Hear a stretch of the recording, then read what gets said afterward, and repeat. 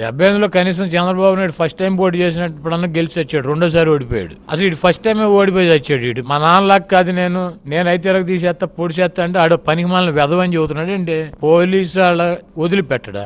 ఏం చేస్తాడు? నక్సలెట్లో చేరతాడంటే ఈ బడుద్దాయి లోకేష్ అనేవాడు పోలీసు వాళ్ళు వేసుకున్నటువంటి బూటులు తుడవటానికి కూడా వాటిని టచ్ చేయటానికి కూడా పనికిరానటువంటి వెధవ ఎన్టీ రామారావుకి మనవడు చంద్రబాబు నాయుడు కొడుకు తప్పించి ఎవడీడు ఎవడి గొట్టంగాడు ఎవడో ఈ లోకేష్ అనేవాడు ఎవడో నిన్న మొన్న చూసి ఎవడెవడు వచ్చి ప్రెస్ మీట్ పెట్టారా నాని నీది అది కొత్త. ఏంట్రా కోసేది మీరు బొచ్చు?